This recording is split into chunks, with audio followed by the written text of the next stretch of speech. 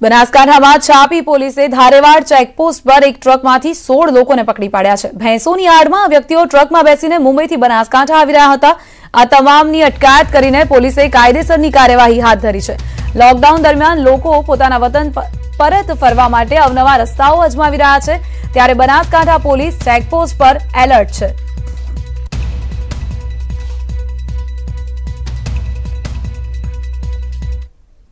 તો આ તરફ અરવલ્લી હાઈવે પર પણ શ્રમિકો દેખાયા સ્ટેટ હાઈવેથી સરહદ તરફ પ્રયાણ કરી રહ્યા હતા શ્રમિકો સૌથી વધુ શ્રમિકો પદયાત્રા કરતા દેખાયા સુરતમાં ખાનગી કંપનીમાં કામ કરતા શ્રમિકો ત્રણસો કિલોમીટર ચાલીને અરવલ્લી પહોંચ્યા યુપી તરફ જવા પગપાળા નીકળ્યા છે ત્રણ દિવસથી આ શ્રમિકો ભૂખ્યા તરસ્યા પદયાત્રા કરી રહ્યા છે સવાલ સૌથી મોટો એ થાય છે કે આ શ્રમિકો આટલું લાંબુ અંતર કાપીને અહીં આવ્યા કેવી રીતે શું રસ્તામાં કોઈ બંદોબસ્ત પર હાજર પોલીસ અધિકારીએ કે પોલીસ જવાનોએ તેમને જોયા જ નહીં હોય શું તેમને રોકવામાં નહીં આવ્યા હોય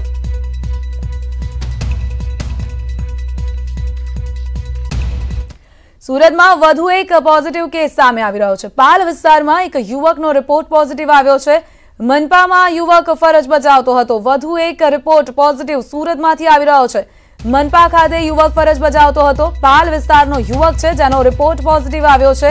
મનપા કચેરીમાં તે ફરજ બજાવતો હતો હવે આ યુવક જેટલા પણ લોકોના સંપર્કમાં આવ્યો છે તે તમામને પણ તપાસ કરવામાં આવશે તેમને ક્વોરન્ટીન અને આઇસોલેશનમાં મોકલવાની પણ કામગીરી હાથ ધરવામાં આવશે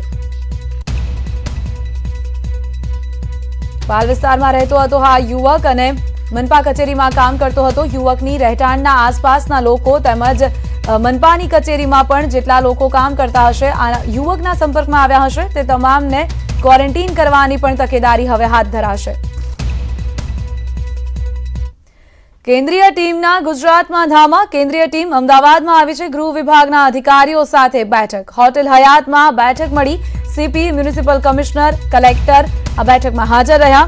કરફ્યુ મુક્ત વિસ્તારની આ ટીમ મુલાકાત લઈ શકે છે આવતા સમયની કામગીરીની સમીક્ષા કરવામાં આવશે હોસ્પિટલમાં જે વ્યવસ્થા કરવામાં આવી રહી છે સાથે સાથે ટેસ્ટ કીટને લઈને પણ ચર્ચા કરવામાં આવશે અને પ્રવર્તમાન પરિસ્થિતિની સમીક્ષા કરવામાં આવશે. ત્યારબાદ આ સમગ્ર રિપોર્ટ પીએમઓને સોંપવામાં આવશે.